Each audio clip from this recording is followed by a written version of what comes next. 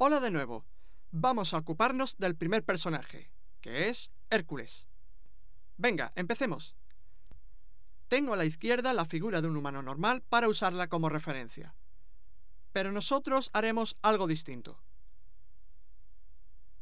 Hércules será parecido al personaje pesado que vimos en vídeos anteriores, pero con algunas diferencias.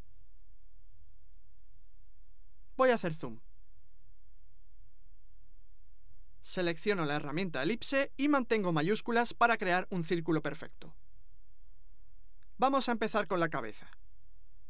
El cráneo deberá ser pequeño y la mandíbula grande. Voy a activar la herramienta rectángulo, voy a colocar el cursor en el centro del círculo, mantengo Alt, hago clic y arrastro para crear un rectángulo cuyo centro esté donde hice clic. Ahora voy a arrastrar estos pequeños círculos, que son los vértices interactivos. Ahora arrastro esto hacia abajo. Esta será la forma general de la cabeza para este personaje. Ahora activo la herramienta elipse y creo unos cuantos círculos más.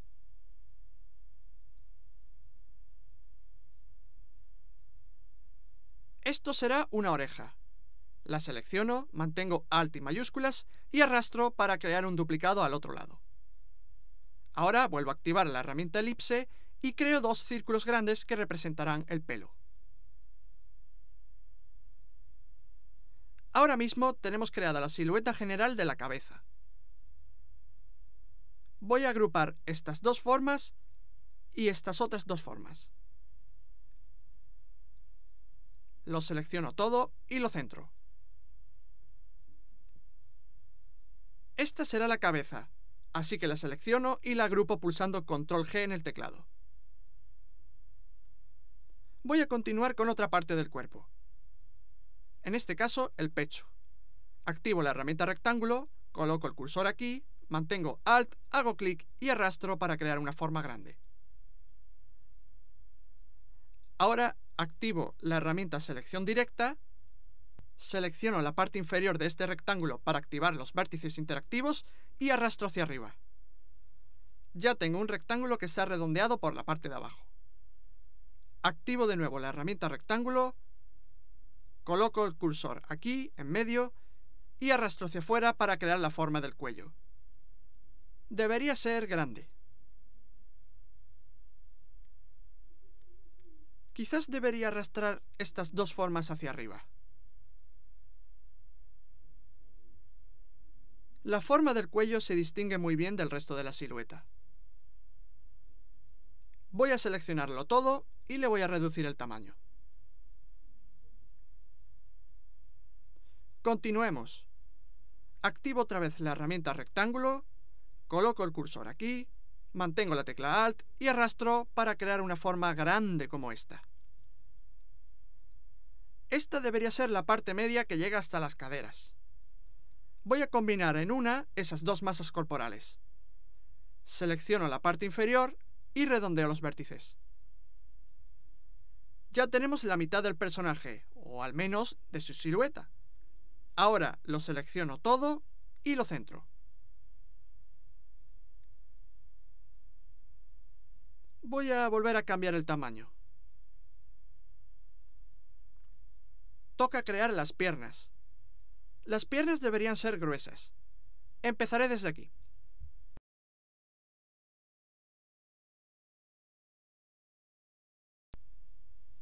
Ahora tomo este rectángulo, mantengo Alt y mayúsculas y arrastro a la derecha para crear un duplicado en el otro lado. Selecciono estos dos rectángulos y los arrastro hacia arriba para cambiarles el tamaño usando los cuadros delimitadores. Ahora activo la herramienta selección directa pulsando la tecla A, selecciono la parte inferior de los dos rectángulos y redondeo.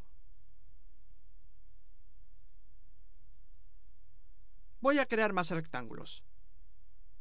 Me aseguro de que estoy alineado con este trazado y comienzo a dibujar. Esto debería ser la parte inferior de las piernas. Como ves, se nota la rodilla y el resto de la pierna. En definitiva, estamos ante un personaje alto. Quizás ensanche la zona del pecho un poco más y haga unos ajustes sobre la marcha en función de cómo vaya viendo la silueta de este personaje.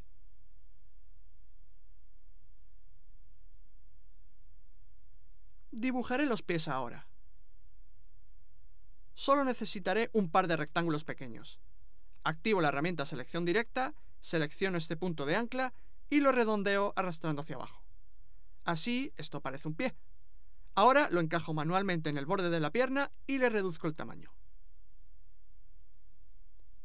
Ya es más pequeño. Quizás debería reducir el tamaño aún más.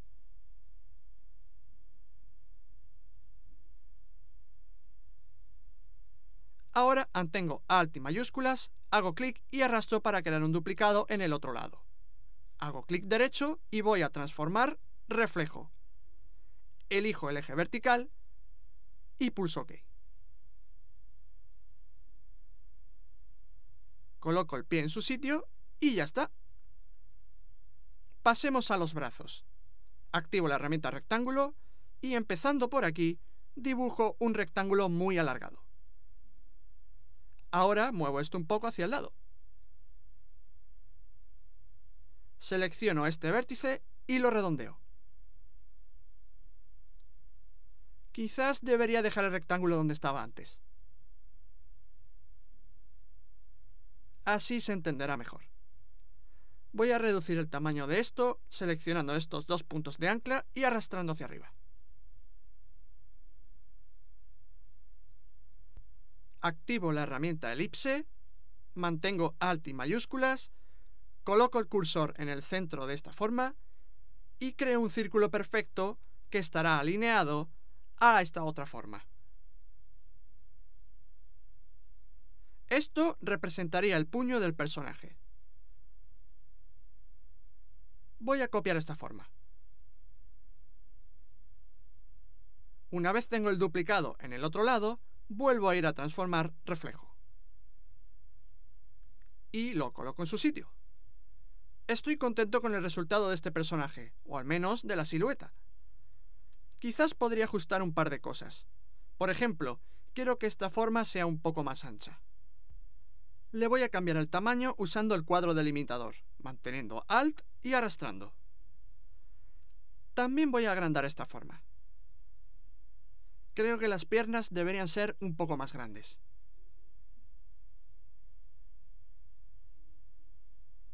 Como ves, solo estoy haciendo pequeños retoques y ajustando formas. Es hora de añadir detalles al personaje.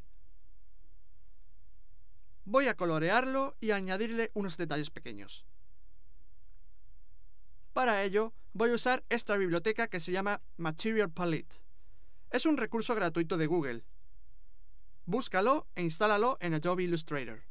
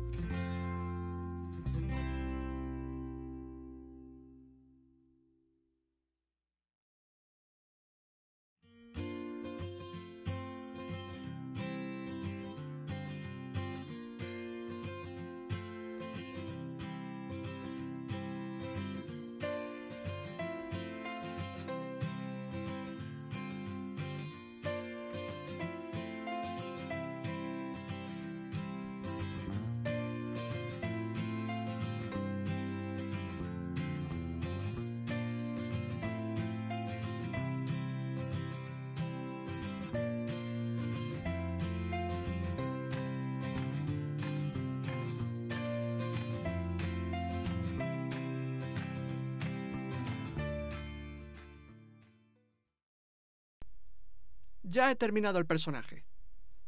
Le he añadido bastantes detalles. Incluso si es un personaje simple y plano, le he añadido algunas sombras y unas cosas más avanzadas que puedes saltarte si no te ves muy capaz. Sin embargo, si quieres, puedes dar rienda suelta a tu imaginación y añadir tanto detalle como quieras. En el fondo no es un aspecto importante de este curso. Lo importante es que aprendas a exagerar las masas corporales. También quiero hacer hincapié en la importancia de tener una silueta clara. Como ves, en la derecha solo tengo la silueta. Si te fijas, cada forma se distingue, queda clara y legible sobre un fondo blanco o de otro color. Una mala silueta sería, por ejemplo, tener todo esto junto, sin apenas espacios. No podría saber a simple vista qué personaje sería.